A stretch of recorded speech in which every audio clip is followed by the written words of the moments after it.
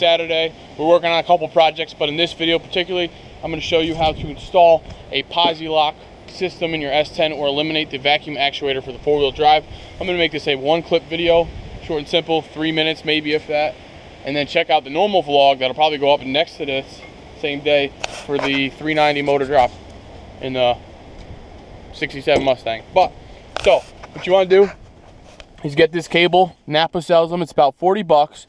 You make an L bracket. So I had someone at work make this for me. And it's a locking control cable. So you pull it out four inches and turn it 90 degrees and it'll lock. So you route that all the way through. On the passenger side of the truck, follow me right around. there is a hole, I have some shit in here, but there's a hole directly back here where your antenna goes through. Cut a little slit in there. You can shove the cable through. The cable comes all the way out here. And then I weaved it through so it comes up through the motor. This is all my electrical stuff, power, heated seats I put in, subs, all that. And I routed it, I actually had to replace the blower motor last weekend.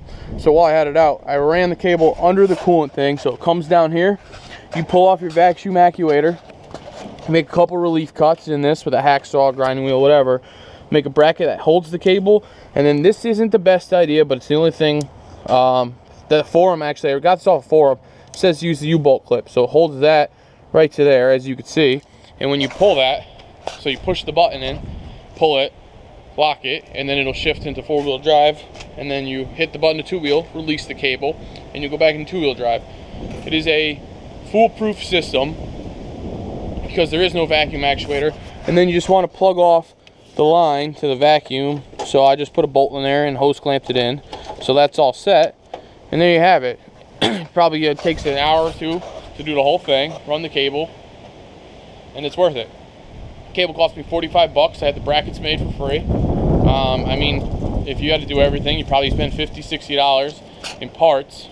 Or you could go online and somebody sells the Posi-Lock cable system for this truck um, for 149 I think it is 150 bucks and that's not worth it don't waste your money if you're mechanically inclined spend the extra two hours do the job yourself because you're gonna have to run a cable through it anyway so why not do it for the cheap?